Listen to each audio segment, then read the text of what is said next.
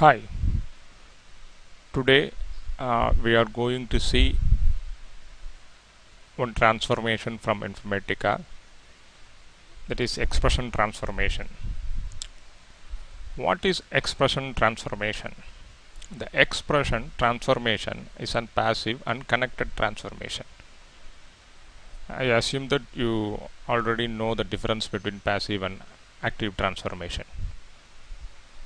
Uh, the main purpose of the expression transformation is to calculate the values in a single row before we write it to the target. For example, uh, we might need to adjust the employee salaries to calculate the commissions and concatenate the first and last names or convert from string to numbers. The expression transformation is mainly used to perform non-aggregate calculations. We use expression transformation for test, character and conversion function like if then else, decode, is null, is date, etc. Now we will see one small example how we are going to use that expression transformation. Here is that example. Here I have already created one map called salary calculation. And source and targets are already created.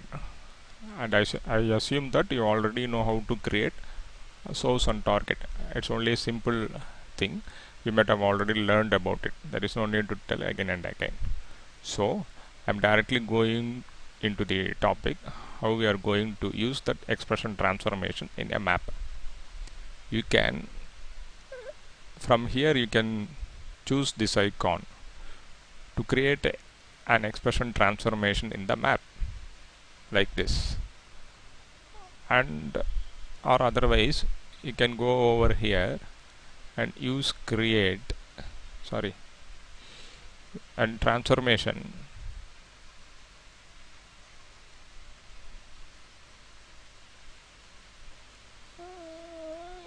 here.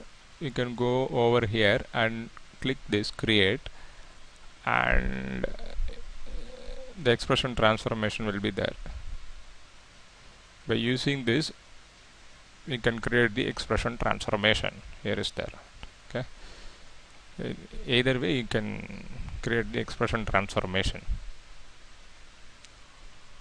The expression transformation here we can using the rename we can name the expression transformation. Normally the naming convention it starts with exp for mapping it should start with m underscore. For our flow means wf underscore. For expression transformation it starts with exp underscore.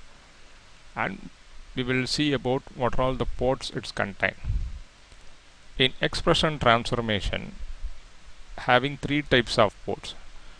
Input port output port and variable port. The input port is that which receives data directly from its previous transformation. This is here. The I stands for input port. This is output port. The output port is that returns value of the expression or a hard-coded value. The variable port is the temporary value of the current row. Okay.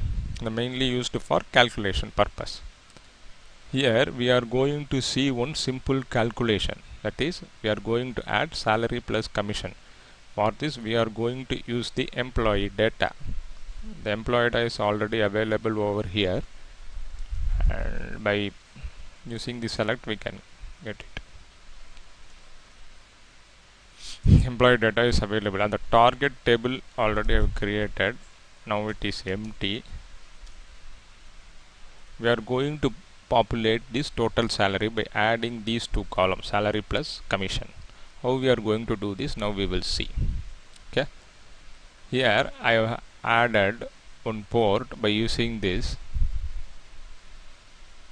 How to how to add a port? It is very easy. By just clicking this we can add one port. Here I have mentioned it's O underscore sal. That means it is output port. And we have added one more port called v underscore sal. That is for variable port mainly used for calculation purpose. Here you have to mention the salary plus commission how we are going to do this. Here the port is there.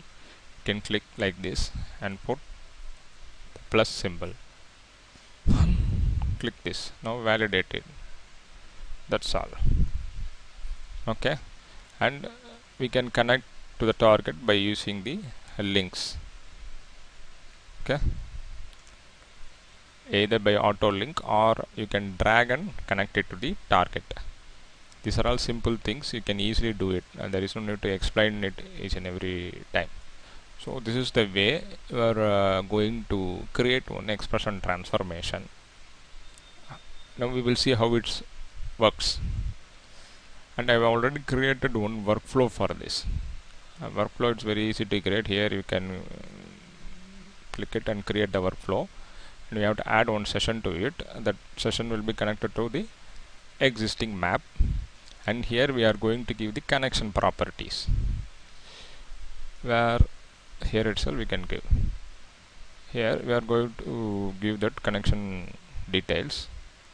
Connection object should be already created with the help of this one. And after that we have to mention over it here.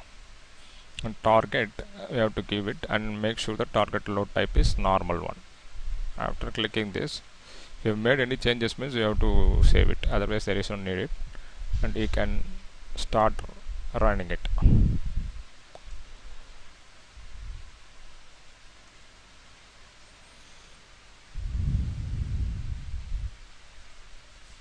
You have to monitor this in the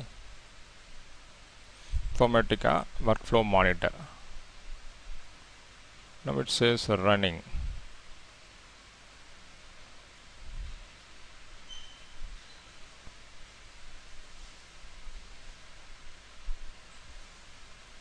So now it's get succeeded and you can check by clicking this run properties. Here applied rows is 15 14 and affected rows is 14 here the applied rows is, rows is 14 and affected rows is 14 so now it's successfully completed. We will check over here. Okay. Now the result is populated total salary. But what happened here is here that commission is null means the result is null. I think you already know about that. If anything we add it to null the result will be null so the result should not be like this. If the null value is there it should be treated as 0 how to overcome this? We will see it in the expression transformation. Here in variable uh, port we have to add one simple coding. Okay? Here what we are going to do is if then else we are going to use here how to use IIF then is null commission. That means commission is null means it should be taken as 0 otherwise the commission should be taken as that uh, value should be taken. Okay? Now we are validating it. The expression passed successfully. The small coding change we have done over here. Now we will see what will happen. What is going to happen? We saved it and here we have to refresh the map as we have done changes in the mapping. We have to save it. Before that we have to delete data that already populated over here.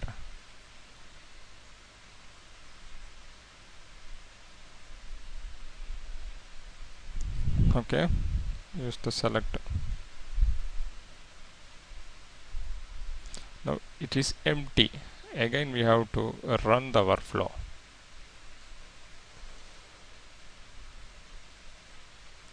now it's get succeeded. Now we will check the value. Okay here if the commission is null it is taken as 0 and the value is populated over here. So that small uh, coding what we have done in the expression transformation over here has helped us to overcome this issue. So this is the way we are going to use the expression transformation now the result we have got is okay. This is the brief explanation about the expression transformation. We will see it in the we will see the another transformation in another session